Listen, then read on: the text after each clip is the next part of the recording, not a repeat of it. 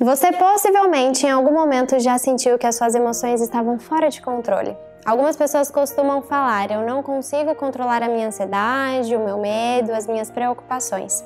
Pois bem, no Chai Terapia de hoje nós vamos juntos construir uma forma diferente e responsável de cuidar das nossas emoções.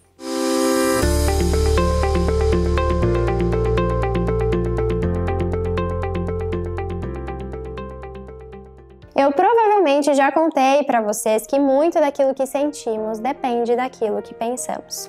Algumas pessoas acham que as emoções simplesmente surgem Porém, quem pensa assim ainda não desenvolveu a habilidade de escutar os pensamentos e ligar esses pensamentos às nossas emoções. O que acontece é que os pensamentos são, em sua grande maioria, automáticos. Eles invadem mesmo a nossa cabeça e, quando menos percebemos, já invadiram também as nossas emoções. Quando você se sente ansioso, preocupado, desesperançoso, pode ter certeza que antes de se sentir assim, vários pensamentos conseguiram se fixar na sua mente e te levaram a se sentir de determinada maneira. A pergunta que eu te faço é: se os meus pensamentos são tão importantes, afinal, eles vão possivelmente guiar as minhas emoções, será que eu tenho prestado atenção nos meus pensamentos? Será que eu tenho questionado os meus pensamentos, direcionado os meus pensamentos, ou eu tenho deixado a minha mente vaguear solta, livremente, sem nenhuma atenção e quando eu menos espero, tanto os meus pensamentos quanto as minhas emoções estão extremamente bagunçados e confusos. A pergunta que você deve estar se fazendo é: o que fazer?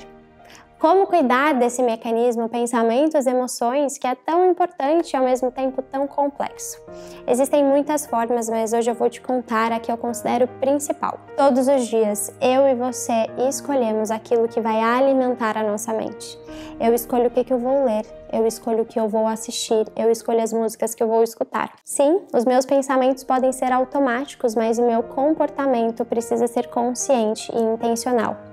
Você já deve ter escutado um verso bíblico que se encontra em Filipenses 4:8 e diz assim: Tudo que é verdadeiro, tudo que é honesto, tudo que é justo, tudo que é puro, tudo que é amável, tudo que é de boa fama, se há alguma virtude e se há algum louvor, nisso pensai. O que você tem feito combina com o verso que eu falei?